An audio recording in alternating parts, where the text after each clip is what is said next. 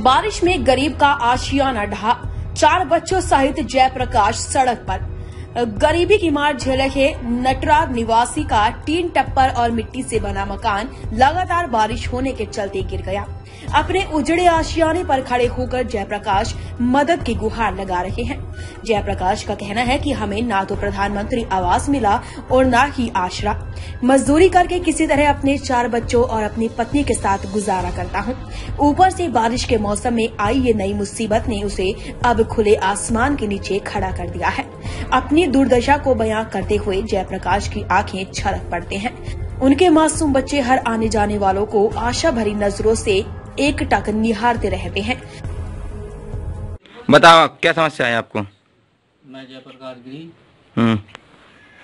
पुत्र श्री नरेंद्र गिरी निवासी नटर्रा कि मेरा मकान है। हम्म। वर्षा होने के कारण ये ढह गया है। हम्म। मेरे छोटे छोटे देखो ये पाँच चार पाँच बच्चे हैं। हम्म इनके रहने के लिए कोई व्यवस्था नहीं है। हम्म और मैं एक भूमिहीन मजदूर हूँ। हम्म तो मेरे पास कोई चारा नहीं। हम्म। इनका भरण पोषण करने के लिए। सही। और सरकार से विनम्र निवेदन है कि मुझे कुछ इसका सुनता है। हम्म। इसकी व्यवस्था करवाई जाए। जल्द से जल्द मुझे रहने के लिए भी जगह नहीं है। मेरा खाने पीने की सामग्री भी सब इसी में दब चुकी है। हम्म। परेशान हूँ। हम्म। मैं बहुत परेशान हूँ। मुझे आज तक सरकारी कोई आवास नहीं मिला है। चाहिए।